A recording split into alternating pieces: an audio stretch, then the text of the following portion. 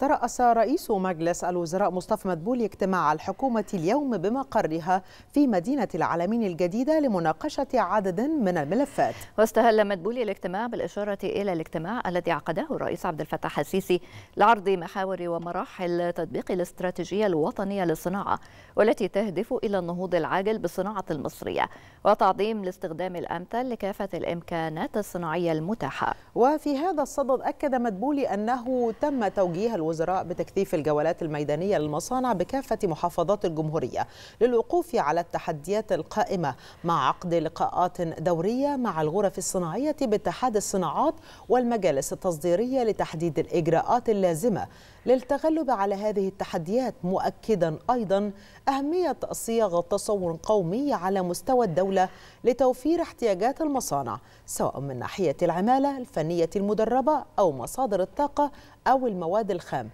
في المحافظات المختلفة. هذا بالتنسيق مع السادة المحافظين لتلبية احتياجات التوسع في تلك المصانع وضمان قدرتها على تغذية الأسواق المحلية والتصدير للخارج. كما شهد الاجتماع استعراض الموقف الراهن لبعض الأسواق المحلية على رأسها سوق الدواء والأسمدة حيث أكد رئيس الوزراء أهمية تكثيف جهود الدولة للتغلب على التحديات التي قد تواجه تلك الأسواق المحلية وذلك بما يضمن استقرارها. موجها السادة المعنيين بالمتابعة اليومية لموقف تلك السلع الحيوية وتبني التدابير العاجلة لتجاوز الظروف الطارئة التي قد تواجهها.